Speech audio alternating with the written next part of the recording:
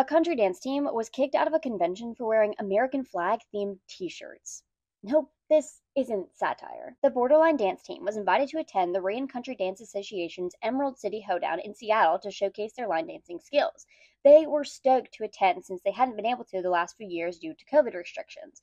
Unfortunately, however, people felt triggered and unsafe by their matching patriotic t shirts and they were given an ultimatum remove the flag t shirts and change clothes, or don't perform at all. The team stuck together, recognizing how unfair this was, and decided to leave. We recognize that being an American means true freedom. We all understood and accepted this and walked out with class and dignity despite the discrimination we had experienced, the team wrote in a Facebook post.